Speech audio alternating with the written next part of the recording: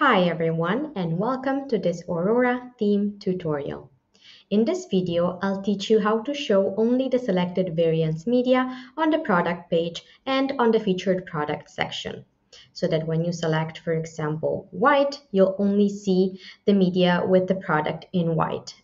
And the same goes for mint, for example, or peach. Now let's get started with our tutorial. First, I'm going to look for my product in the product section of the Shopify dashboard. Here is the product I need. Let's open it. At this point, I'm going to add the variant's value as alternative text to each one of the pictures in the media section. For this example, I'm going to consider color. So I'm going to add each color name to the corresponding images in the media section. I'm going to open my first image, click Add Alternative Text, and enter my variant's value name, in this case, beach. Click Save Alternative Text, and move on to the next image. I'm going to repeat the process. Click Save and move on to the next.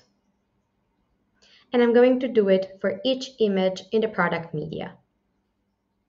Once that is all done, let's go to the theme editor. From here, we're going to open the theme settings, go to advanced, and enter our variant's name, in this case, color.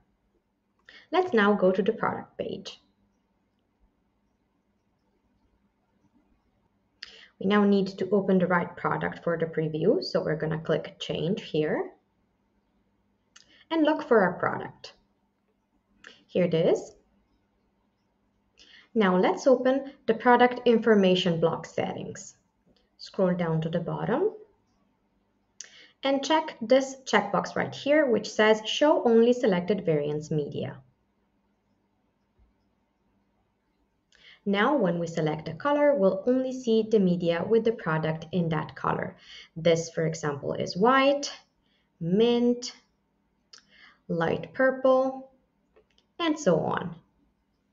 And that's it. That concludes my tutorial. Now go try this feature on your Shopify store.